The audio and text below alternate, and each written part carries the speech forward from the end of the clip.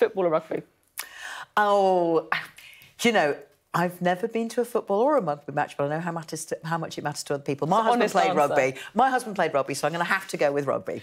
Charles Dickens or Jackie Collins? Uh, Charles Dickens. Not Nadine Dorries, no. uh, Mozart or Miley Cyrus? Oh, Miley Cyrus. Oh, interesting. It's a Mm. cellist as well. Um, Oppenheimer or Barbie?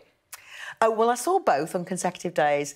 I, I mean, I enjoyed them both, but I enjoyed Barbie far more, far more. I thought I Oppenheimer say, was there's- beautiful, but there's uh, Barbie was a lot in the of fun. studio. There's a But- lot of Barbie love coming from this But corner by the as way, well. I love Mozart. the right I love, answer. I love. I've, I've had a lifetime of playing joyful Mozart. and I've never played a note of Miley Cyrus in my life, but it, it's it's a Miley Cyrus track on my, my mixtape when I go home. Oh, really? What, what's your favourite Miley Cyrus? Well, at the moment, it's flowers. there you go. There you go. Great sentiment.